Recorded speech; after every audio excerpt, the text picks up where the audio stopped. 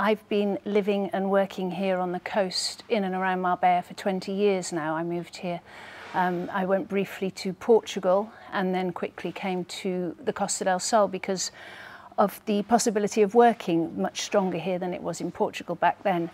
Um, and I quickly found, even though I, I knew the Algarve very, very well because I'd been going there since I was a child, but I quickly found that this place was somewhere that I felt connected and I felt was right for me. And so I made it my home.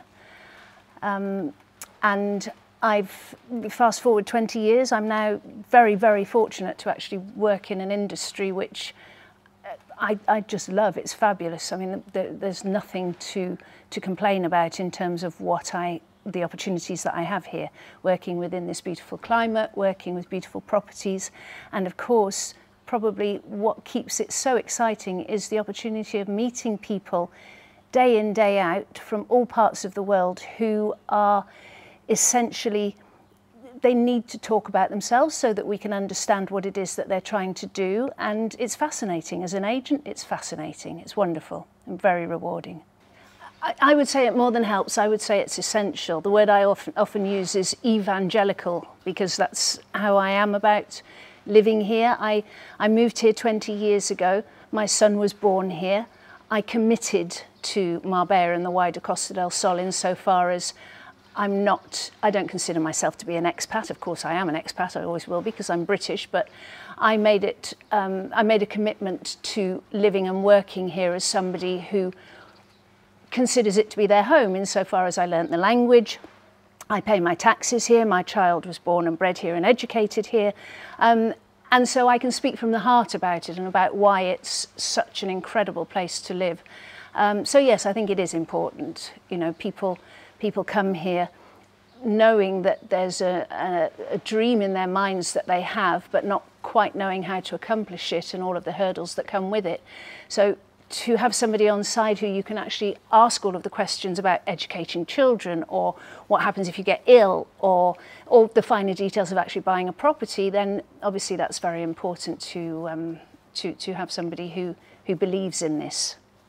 It can't be any other way because the majority of the people that I deal with, and probably the vast majority of, of the um, property sales within the, the arena that I work in, are are to uh, foreigners, to expats.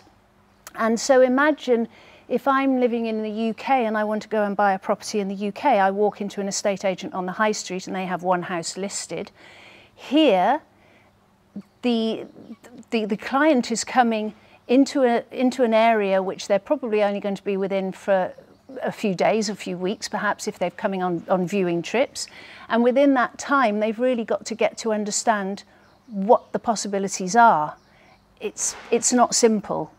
You know, we work from, let's say, between Malaga and Sotogrande and all of the little enclaves and poblaciones in between where there are little villages or areas, communities which are right for one person, not so good for another. So it's, it's really um, much more complicated than you might imagine at the outset. Marbella has proven itself to be a, a real gem insofar as everything that those of us who know it and love it and are passionate about it have known for all these years is suddenly being verified by the amount of attention that it's being given from people from all over the world. Why that's happening, I think there's no question that there's been a knee-jerk reaction because of the pandemic. Absolutely, I know that people have reacted to a dream again, there's that word again, in their heads of, of living this kind of lifestyle, whether it be in the countryside, whether it be in an apartment, whether it be in a beautiful villa like this one, but living a lifestyle, that dream, they've suddenly realized they want to put into action because home working has become a possibility. Um, the, the importance of having quality time with your family has become much more prevalent for most people who've, who've really had to sort of sit back and think about what's important in their lives. And Marbella has proven to be incredibly attractive to many, many people. And that's what's happening here at the moment. And we're seeing um, the, the amount of um, interest, not, not necessarily only visits at the moment because there are still some restrictions, but the amount of interest from all over the world translating into sales, whether they be through viewing, uh, virtual viewings or through actual um, real life viewings is, is something that none of us could have foreseen. The trends insofar as the property, obviously people have different budgets, um, but what everybody wants is to have outdoor space, um, a beautiful scenery around them.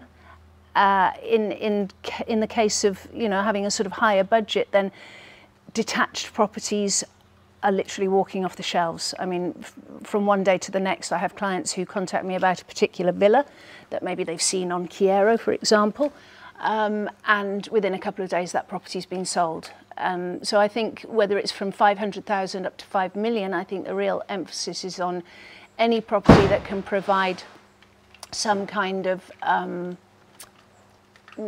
open space, great feeling um, and ambience within which a family can live and be together if they're working from home or otherwise. When it comes to um, the type of clients, again, from all over the world, America's proven to be most surprising, I would say, with American interest, American buyers ongoing. Um, but also a lot of Scandinavians. The Danish are very strong, the Swedish are very strong. And if I told you the British are very strong, you'd probably not believe it, but the British have proven to have nothing has put them off from, from looking for this kind of lifestyle, even though the, the, the, um, the structure of doing so obviously for them is a little bit different now, but certainly it's, uh, it's proven that the, the British are still very interested.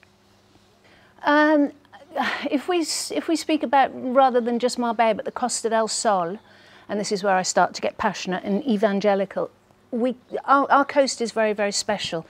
It can't be compared to any other coast within, within Spain or around Spain. Why? For a number of reasons. Historically, because back in the 1970s when Franco decided that it would be a good idea to welcome tourists, that really started to establish this, this enclave, if you like, as a, a place of interest. And slowly, slowly that started to develop into um, a destination which responded to, to the needs of people who were looking to travel and to experience something outside of their own country. Of course, um, up until more recently, it has, there's been a lot of, um, or the majority of, of people, buyers, if you like, or visitors, have either been tourists or retired people. But in the last five, six, seven, ten years, I would say, the structure or the, the what's the word I'm looking for, the, um, the, the profile of the people who are buying are people who are coming to live here and work here, people like me who've committed to it. So no longer is it necessarily just people wanting to have a second home in the sun um, but still pay their taxes back in their home country.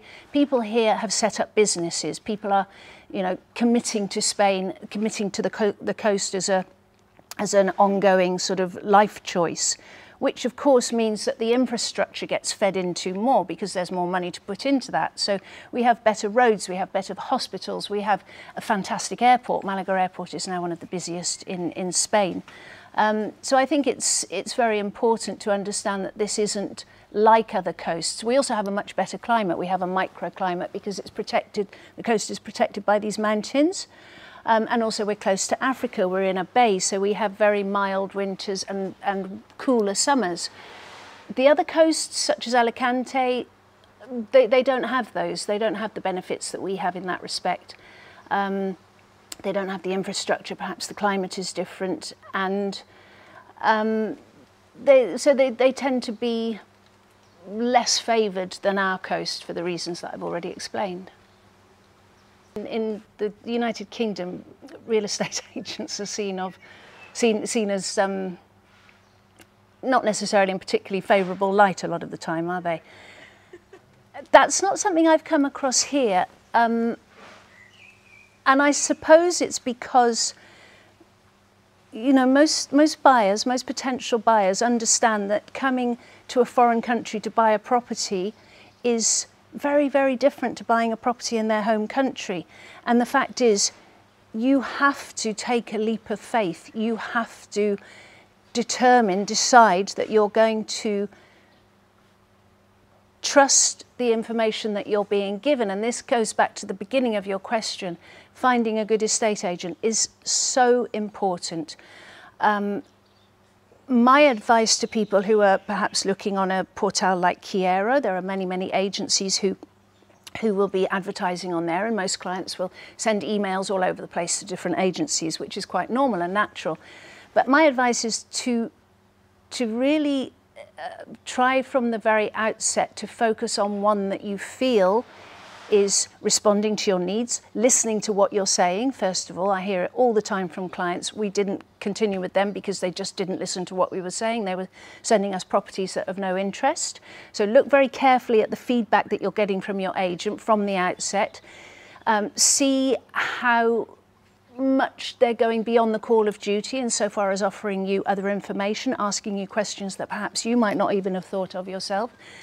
Um, and once you have that that uh, connection with a with an agent, I would my advice is to try and stay with that one person or that one agency at least, because there, there's a there's a big market out here, which means there are a lot of agents, and of course everybody wants a piece of the pie, and it can be very very confusing for for clients who perhaps believe that it's good to or, or it's going to benefit them by speaking to lots of different people, but in the long run it's not. Um, why? Because at some point you're going to commit to getting on an aeroplane, coming over to Spain, and you're going to have a, a week, perhaps two weeks, perhaps two months, during which time your focus is to find a property. You need the continuity with the person that you found that you trust. You need to not have to keep going out on a day to go and see new properties and starting again building a relationship with a new agent who you haven't met before. It's easy to do because the collaboration means that you can just choose one agent and any property that you find with another agent, you can see through your chosen agent. So it's not difficult to do, but it is key. I would say it's absolutely key. For me as an agent, your, your uh, search criteria are important for me because it, it allows me to start to get to know you, to understand you, to know what you're thinking. However, be very, very clear that your initial search criteria are unavoidably going to change once once you start to go through the process. I always say to clients, you know, sometimes people will say to me, look, we won't be coming for eight months.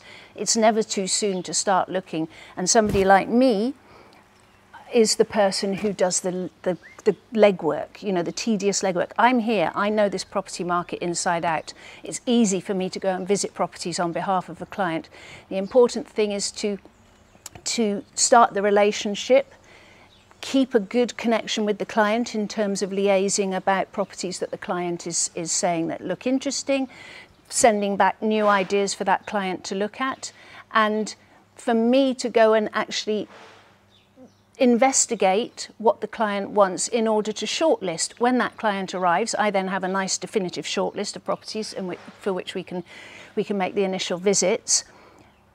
But inevitably that, that criteria, that those criteria are going to change once the client lands on the ground here because you might think that Estepona is something for you, when you see Estepona, you might feel that actually, do you know what, I think I felt more comfortable when I was closer to the airport, so let's look at La Cala de Mijas. You just don't know. But what is important is to hit the ground running. Don't come here without having a plan and get a plan by speaking to an agent.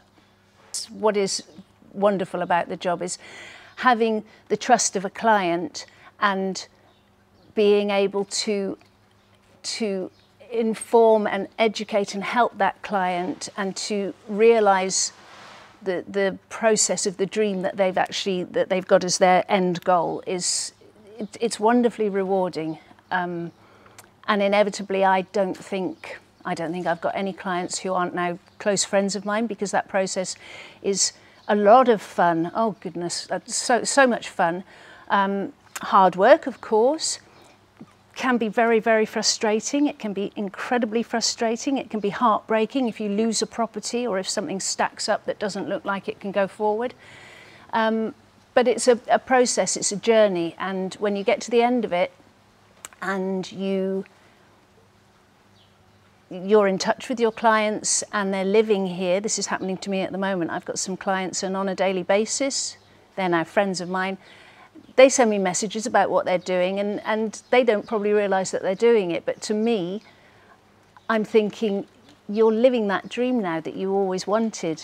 And they're, you know, they're just so happy. They're so, they're three kids that they brought here with them and, and they're just, they couldn't love it anymore. There are some agencies who will organise viewing trips. Um, for me, I feel that it's probably best if, I, if I'm advising a client, if I was a client and I was advising a client, I would suggest that uh, you do your own view viewing trips, you organise everything yourself. It's not to say that the agent can't help you with suggestions of a good place to stay because, you know, let's say, for example, that we're going to be looking in, in Sotogrande and um, so perhaps come up with some suggestions of good hotels or an apartment to rent and so on. Um, but generally, I think, you know, nothing comes for free in this life. And if an agency is suggesting that they book a viewing trip for you, then you're probably going to feel a little bit committed to uh, you know, carrying on that process. And if that is a relationship which you're not particularly comfortable with, then it becomes difficult. So I would, my suggestion is keep your independence, absolutely. Certainly, you know, work with the agent that you feel close to, but don't be tied into anything.